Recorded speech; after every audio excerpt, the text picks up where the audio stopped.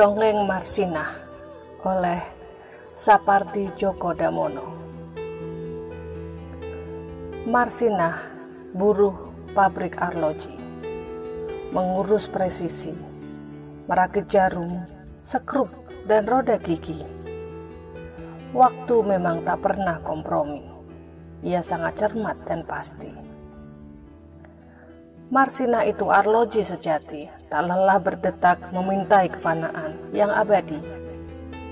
Kami ini tak banyak kehendak, sekedar hidup layak, sebutir nasi.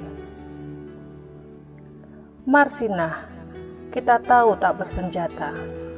Ia hanya suka merebus kata sampai mendidih, lalu meluap ke mana-mana. Ia suka berpikir, kata siapa? Itu sangat berbahaya Marsina tak ingin menyulut api, ia hanya memutar jarum arloji agar sesuai dengan matahari. Ia tahu hakikat waktu, kata siapa, dan harus dikembalikan ke asalnya debu. Di hari baik, bulan baik, Marsina dijemput di rumah tumpangan untuk suatu perhelatan. Ia diantar ke rumah siapa, ia disekap di ruang pengap, ia diikat ke kursi mereka kira waktu bisa disumpal agar lengkingan detiknya tidak kedengaran lagi. Ia tidak diberi air, ia tidak diberi nasi. Detik pun gerah berloncatan ke sana kemari.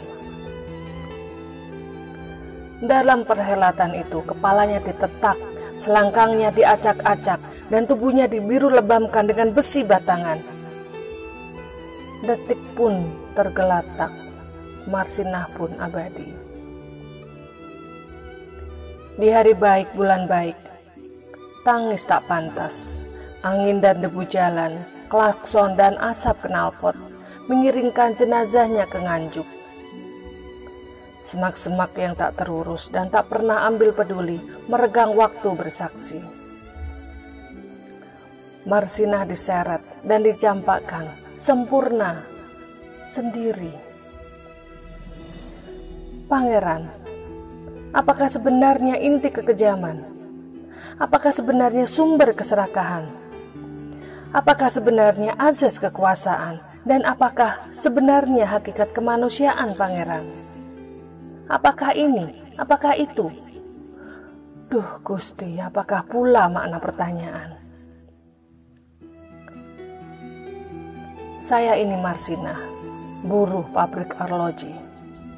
Ini surga bukan? Jangan saya diusir ke dunia lagi, jangan saya dikirim ke neraka itu lagi. Malaikat tak suka banyak berkata.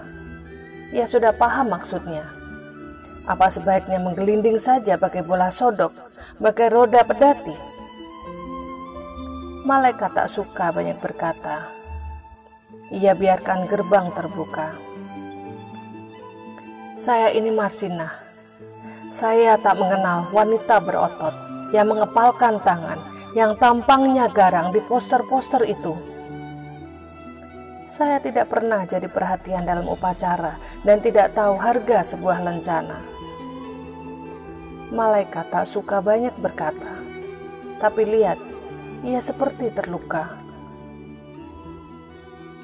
Marsina itu arloji sejati, melingkar di pergelangan tangan kita ini dirabanya denyut nadi kita dan diingatkannya agar belajar memahami hakikat presisi.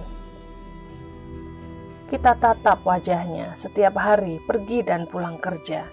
Kita rasakan detak-detiknya di setiap getaran kata. Marsina itu arloji sejati, melingkar di pergelangan tangan kita ini. 1993 1996